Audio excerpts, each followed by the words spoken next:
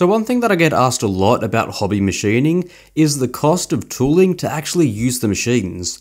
You can buy a mini lathe for about seven to eight hundred dollars now, but they don't typically come with any tooling. And it's pretty easy to imagine that that tooling probably doesn't come cheap. I think the saying goes is you'll probably end up spending what you paid for your lathe in tooling alone. So an $800 lathe purchase can easily double to about 15 to $1600 once you factor in the tooling. Uh, and whilst you can easily spend that much and even more, I don't think it's a useful metric for actually calculating how much you'll need to spend, at least initially. As someone who started out with basically no lathe tools, that wasn't my experience.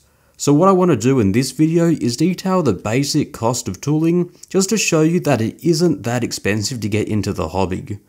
Of course this is primarily focused on my experience with the hobby lathe, and it might not apply to everyone, but it should give you a rough idea of what you need to get started.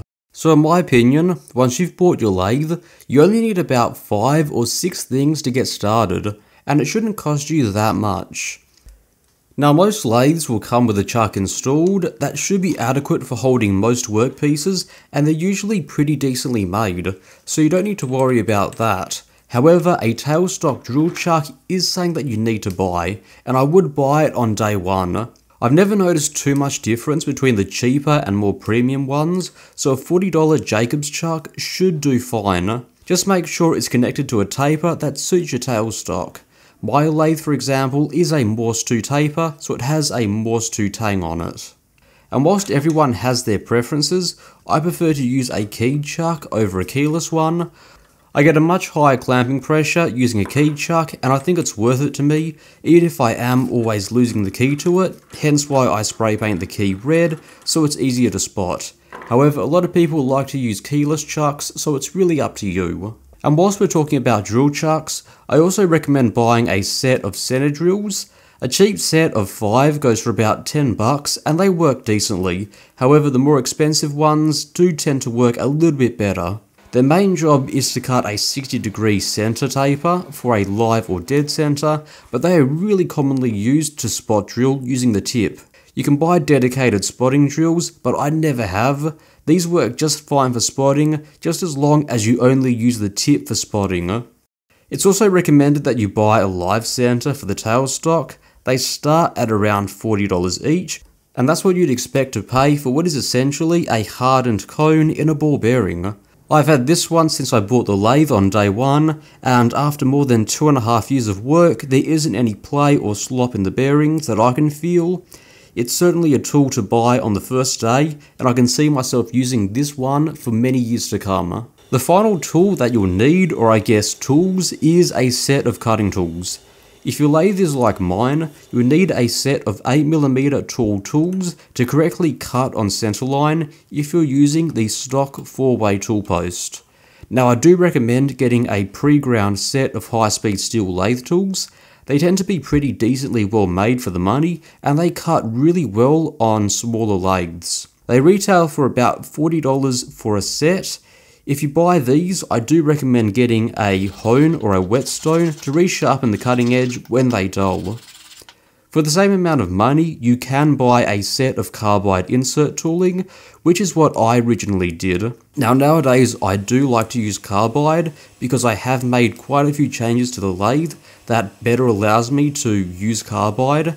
However, they really held me back in the early days of machining they're not as sharp as the high-speed steel, and as a result, I was taking pretty poor depth of cuts, I was getting really bad surface finishes, so I guess learn from my mistake, out of the gate, get some high-speed steel, and you can get into carbide inserts at a later date. And technically, whilst this isn't a tool, these machines do need lubrication on the ways and slides. The go-to is way oil, or if you can't find any, an ISO 68 hydraulic oil is really popular and works really well. You can usually get a litre of it for about 15 bucks, but I picked up a 5 litre container for about 35 bucks, and this is going to last me for years. Now this might be a bit controversial, but if you can't get any, I just use any machine oil that you can get your hands on. Any oil is going to be better than no oil. I've seen people use chainsaw bar oil, and for the first few months of getting this lathe, I actually used 3-in-1 oil and 4-stroke motor oil on the ways. It's certainly not recommended, but any oil is going to be preferable to using no oil at all, at least until you get your hands on some proper stuff. Now at this point that should be enough equipment to really get you started. All up, it should cost you less than $150. If you really are starting from scratch, you might need to factor in a bit extra for some twist drills for example, and if they are available, I would really look at getting some shorter stub drills that better fit in the confines of the lathe. However, that was not an expense for me, so I didn't factor it in.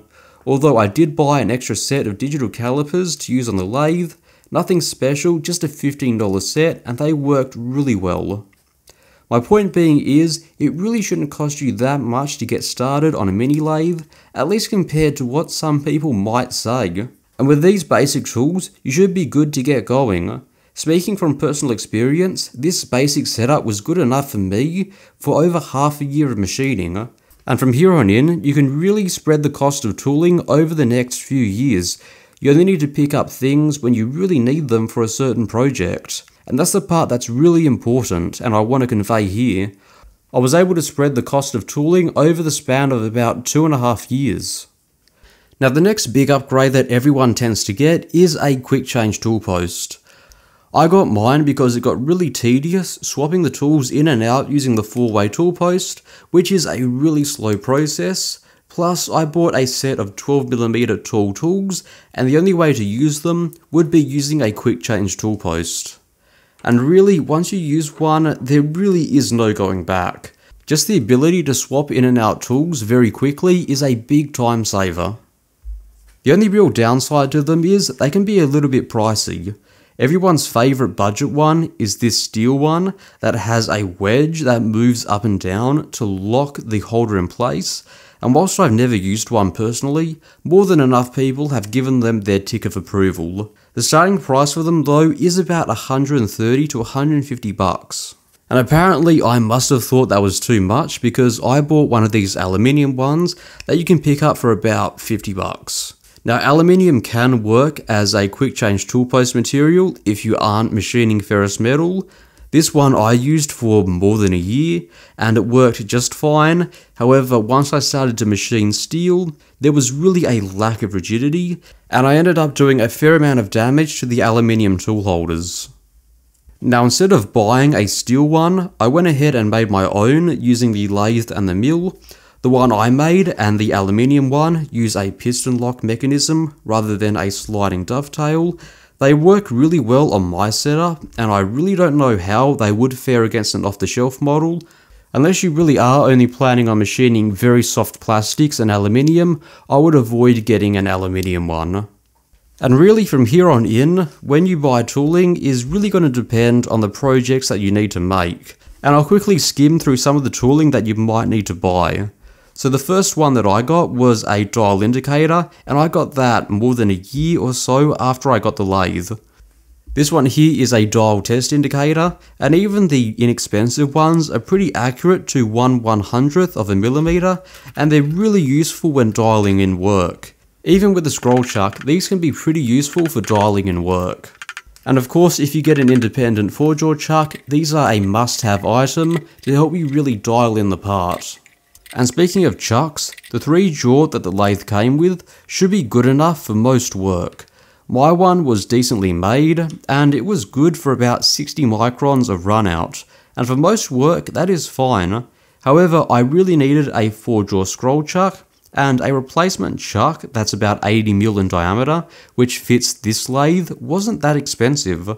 At the time, I was able to pick up the independent 4-jaw chuck for about $50 on sale, and I picked up the 4-jaw scroll chuck for about 80 The 4-jaw scroll chuck is really well made for the price, and it gives me about 40 microns of runout. However, with the independent chuck, with the dial test indicator, I can get it down to about 10 microns or below of runout.